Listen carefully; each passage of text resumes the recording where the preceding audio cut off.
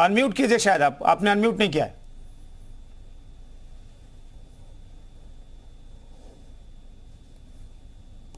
देखिए कांग्रेस पार्टी लगातार भारतीय जनता पार्टी के खिलाफ लड़ती हुई नज़र आ रही है। जो उत्तर प्रदेश में अराजकता का माहौल है बेरोजगारी का माहौल है महँगाई का माहौल है उसके की बात जो आपने की है कांग्रेस पार्टी ने पहले दिन से कहा था जो दल भारतीय जनता पार्टी के खिलाफ लड़ाई लड़ रहे हैं उनके साथ कहीं ना कहीं हमारी बातचीत होगी।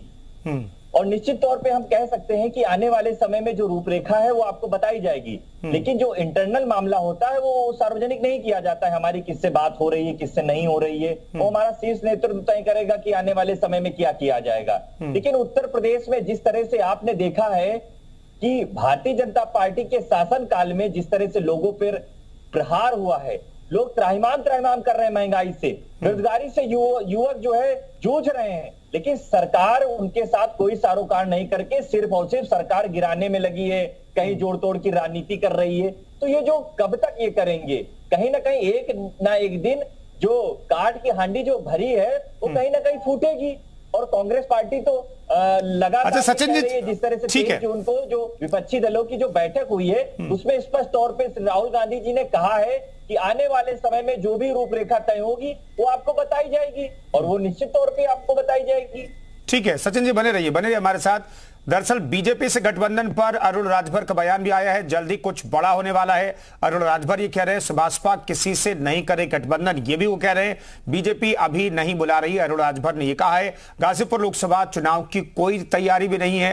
हालाँकि ये कहा जा रहा था, एक सीट राजभर की पार्टी को दी जा सकती है। सात अक्टूबर को बिहार में रैली के बाद स्थिति तय होगी। जब वो फार्मूला हमारे पास आ जाएगा तो उस फार्मूले के बारे में बताया जाएगा। लेकिन हमारी पार्टी है स्वयं भारतीय समाज पार्टी है हमारे नेता है माननीय ओम प्रकाश राजभर ये हमारा सिंबल है। चुनाव चिन्ह छड़ी हमारा है। और हमारे नेता जब तय कर देंगे या हमारे संगठन के पदाधिकारी तय कर देंगे जो हमारी कोर कमेटी है वो तय कर देगी किसको कहाँ चुनाव लड़ना है तब वो फैसला प्रशांत ये फॉर्मूले की जो बात आ रही है कि ओपी राजभर कैबिनेट में शामिल होंगे एक सीट पर अ, उनके पुत्र जो हैं, चुनाव लड़ाए जा सकते हैं या फिर किसी को भी एक सीट दी जा सकती है बीजेपी की तरफ़ से। तो ये फॉर्मूला आखिर कैसे हवा में तैर रहा है? देखिए, आप लोग अगर भारतीय जनता पार्टी की राजनीति को कवर करते होंगे तो पिछले सात आठ सालों में तो जो चीज़ें खबर उड़ती है, अखबार में आती है या न्यूज़ पे आती है चीज़ें कभी नहीं होती हैं। तो इस विषय पे कोई कमेंट करने का कोई आधार नहीं अभी बनता है फ़िलहाल। जब चीज़ें हो जाएँगी अगर कुछ होता है इस तरह की बातें कुछ भी होता है या शपथ ग्रहण हो जाता है कोई शामिल होता है उसके बाद इस विषय पे हम डिस्कशन करेंगे तो मुझे लगता है कि प्रशांत जी तो लेकिन आप कह रहे हैं जो खबरें मीडिया में आती है वो खबर पुष्ट नहीं होती है। तो क्या ये माना जाए राजभर साहब ऐसे ही तैयारी किए हुए रह जाएँगे? फॉर्मूले का ज़िक्र करके वो खुश हो गए कि भाई बीजेपी आएगी वो फॉर्मूला लेकर के लेकिन बीजेपी जाएगी नहीं।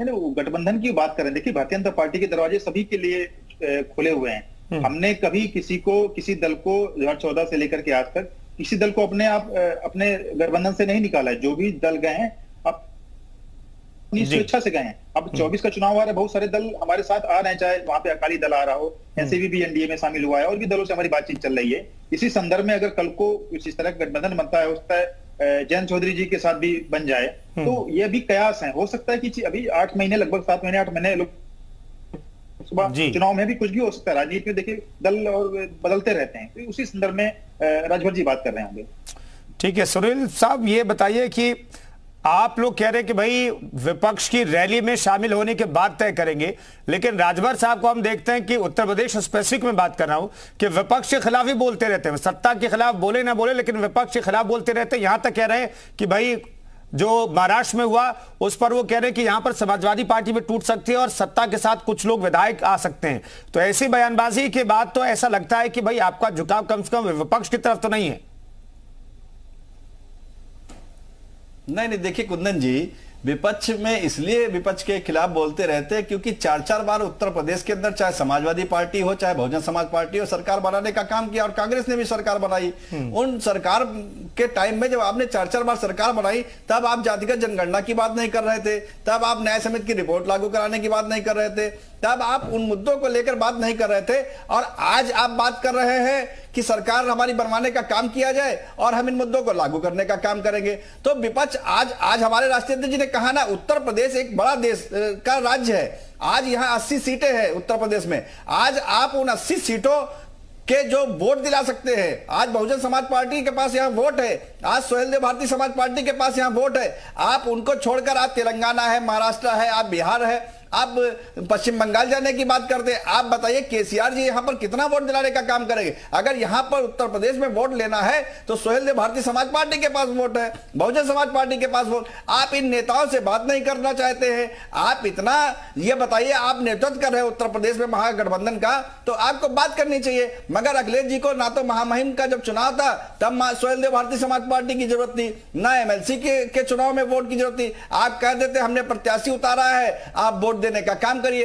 अरे, जो प्रत्याशी उतरता है, उसके लिए वोट मांगा भी जाता है। तो सोहेल देव भारती बिल्कुल स्पष्ट कह चुकी है, हम अभी किसी के साथ गठबंधन नहीं कर रहे हैं, हमारी किसी से वार्ता नहीं हो रही है। सोहेल देव भारतीय समाज पार्टी अपने संगठन को लेकर मजबूती से काम कर रही सोहेल देव भारतीय समाज पार्टी समीक्षा बैठकों का दौर जारी हो चुका है। उन बैठकों को हम्म। कर कर हम अपने संगठन को मजबूती करने का काम कर रहे हैं। हम्म। गठबंधन को लेकर जो चर्चाएँ चल रही इन चर्चाओं का कोई मायने नहीं है। हम्म। सोहेल देव भारतीय समाज पार्टी के पास विचारधारा है। सोहेल देव भारतीय समाज पार्टी के पास झंडा है।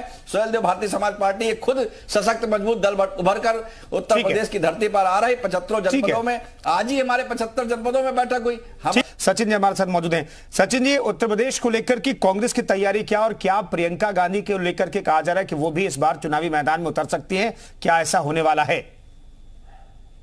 देखिए, कांग्रेस पार्टी पूरे उत्तर प्रदेश में अस्सी लोकसभा सीट और हमारा जो संगठन, जो प्रक्रिया है, वो चल रही है। कल हम लोगों ने जो विधानसभा हमारे प्रत्याशी थे 2022 की, उनको बुलाया था। उनके साथ में वार्ता की हमारे प्रदेश अध्यक्ष ने। जो हमारा काम है वो लगातार धरातल पर जारी है। और निश्चित तौर पे जो भी हमारे प्रमुख चेहरे हैं वो उत्तर प्रदेश में लड़ाई लड़ेंगे। भारतीय जनता पार्टी के खिलाफ हर लोकसभा सीट पे अभी तक तो तैयारी कर रहे हैं। लेकिन मैं एक बात कहना चाहता हूँ। हम्म। राजभर साहब विपक्ष के नेताओं पर सवाल करते हैं विपक्ष पार्टियों पर सवाल करते हैं। अरे करिए ना अगर आपको इतना ही लग रहा है भारतीय जनता पार्टी के खिलाफ लड़ाई लड़िए आप भी आइए विपक्षी दलों की बैठक में। लेकिन वो ये नहीं कर सकते उनको सिर्फ़ और सिर्फ़ स्वार्थ और महत्वाकांक्षाओं की राजनीति करनी है। इस वजह से नहीं वो आएँगे नहीं आप लोग बुला नहीं रहे दरअसल। कह रहे हैं नहीं नहीं सचिन जी सचिन जी दरअसल राजभर साहब को आप लोग बुला नहीं रहे इसलिए वो लोग आ नहीं रहे राजभर साहब कह रहे हैं कि भैया हमें बुलाओ तो सही। विपक्ष के साथ हम तैयारी से लड़ेंगे। अच्छा ये अच्छा ये बताइए, भारतीय जनता पार्टी के साथ चुनाव मिलकर लड़ते हैं, उसके बाद उनका साथ गठबंधन छोड़ते हैं, उससे पहले बसपा में थे, उसके बाद समाजवादी पार्टी के साथ गठबंधन करते हैं, उनको छोड़ते हैं। तो ये जो स्वार्थ की राजनीति और महत्वाकांक्षाओं की राजनीति करने वाले नेताओं को पार्टी क्यों बुलाए? सबसे पहला सवाल। अगर उनको लड़ाई लड़नी है तो लड़े ना भारतीय जनता पार्टी के खिलाफ। ओबीसी की अभी बात कर रहे थे कांग्रेस पार्टी लगातार जाति जनगणना पर मुखर होकर के लड़ाई लड़ रही है प्रदेश में। सुनील जी सुनील जी जल्दी से जवाब। जनगणना के लिए जल्दी छोटा जवाब सुनील जी कुछ कहना चाह रहे होंगे। सुनील जी सोहेल देव भारतीय समाज पार्टी ने ही गठबंधन करने का काम नहीं किया। कांग्रेस ने भी गठबंधन करने का काम किया।